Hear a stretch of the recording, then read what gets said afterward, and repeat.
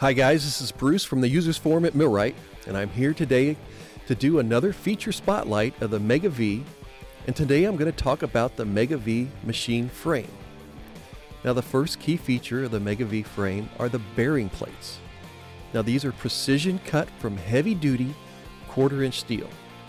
And you can see I measured slightly more than a quarter inch, and that's probably due to the painted surface. These plates are used on the front and the rear of the dual Y-axis. It's on the X-axis gantry, and it's on the Z-axis plate.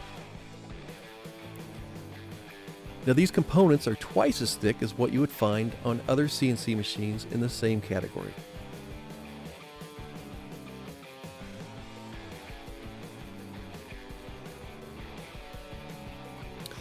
The other unique feature of the Mega V frame are the custom X and Y aluminum extrusion rails which fit between the bearing plates.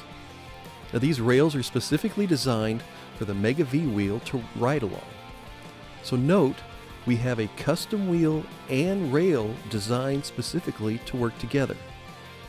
Now the rail dimensions are 100 millimeters by 60 millimeters, or 3.94 inches by 2.36 inches with the thickness of the extrusion that can be up to 0.315 inches.